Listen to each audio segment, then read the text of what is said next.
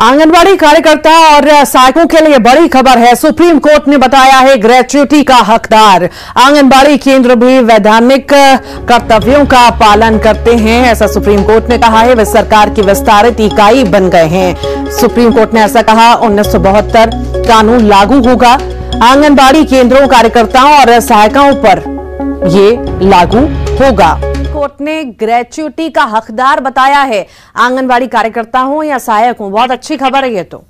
आंगनबाड़ी कार्यकर्ताओं के वेतन वृद्धि समेत अपनी विभिन्न मांगों को लेकर लंबे समय से धरना प्रदर्शन और भूख हड़ताल जारी थी।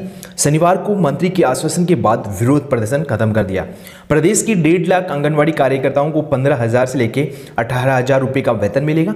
आंगनबाड़ी सहायकों का भी वेतन बढ़ाया जाएगा। इन्हें अब दस हज़ार रुपये प्रति महीना दिया जा रहा है। आंगनबाड़ी कार्यकर्ताओं को वर्ष दो हज़ार अठारह से काटे जा रहे पंद्रह सौ का जल्द भुगतान किया जाएगा।